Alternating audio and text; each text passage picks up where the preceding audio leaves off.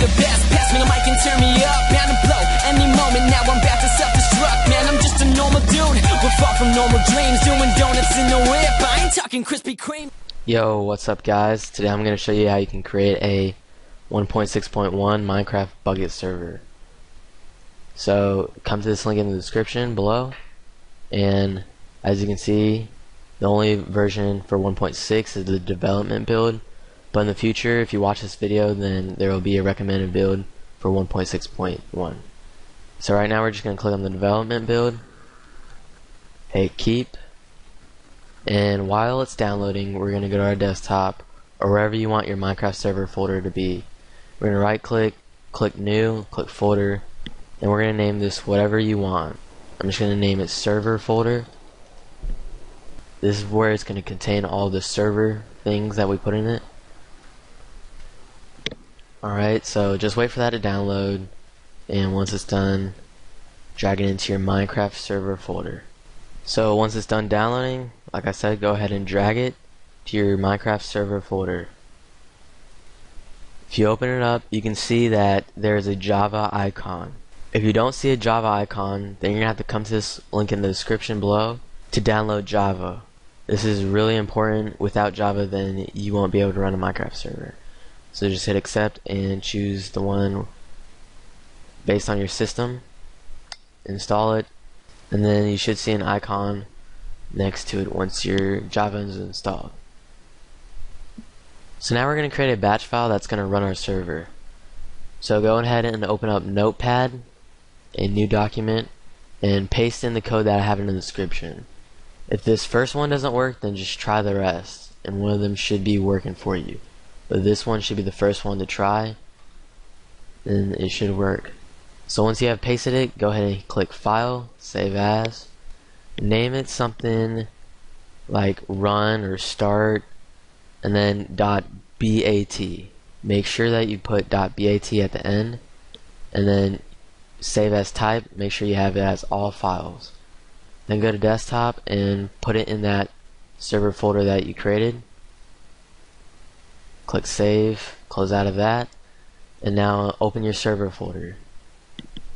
Okay, so we still have to rename CraftBukkit. This is really important too.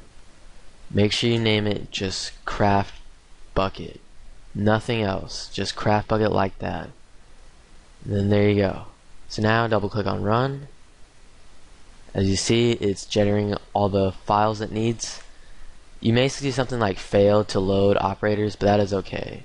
As long as you see it running and preparing the spawner area, then you're all good. If you have a couple errors, like the errors that are on the screen, you can click to watch those. I, uh, I show you how to fix those problems. But if not, just keep watching the video because you're almost done.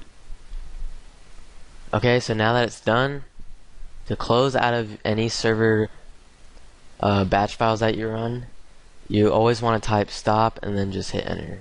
Because if you just close out of it, then it won't save what you have ran before. Then once it says press any key to continue, just exit out of that. Okay, now that we're almost done, one of the last things to do is to port forward.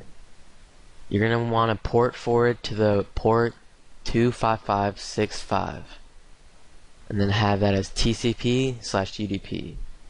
And if you're unfamiliar how to port forward with your router, then come to this link in the description, choose your router type or your router brand name, and then there will be a port forwarding guide on how to port forward with your router.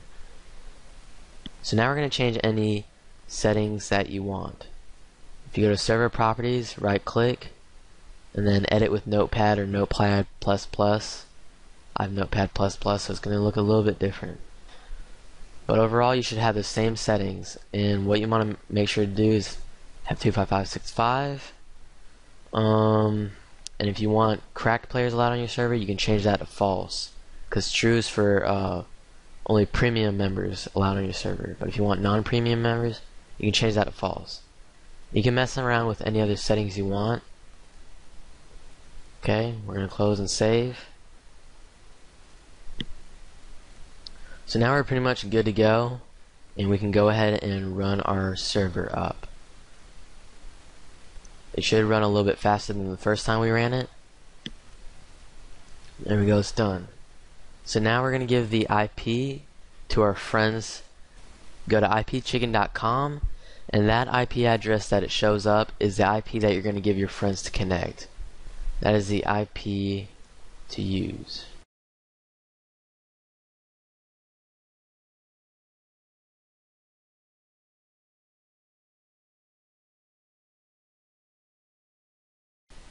So hopefully you found a way to port forward. There are tons of videos of how to port forward. And with this video that I made here, it should have helped. You should have a Minecraft server. My next video is going to be how to install plugins, so you should check that out. And subscribe for more videos like this. Alright, see you guys.